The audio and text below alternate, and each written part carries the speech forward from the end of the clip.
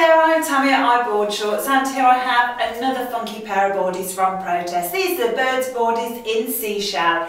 They've got this real interesting print going on, loads of different scenes on there, they are full of character. They're really retro as well, just 16 inches in length. They feature the Lycra fly for your ultimate comfort with Velcro and a drawstring and they've got a Velcro pocket on the back. Whether you're hanging out by the pool or hitting the beach for the day, these boardies will look awesome.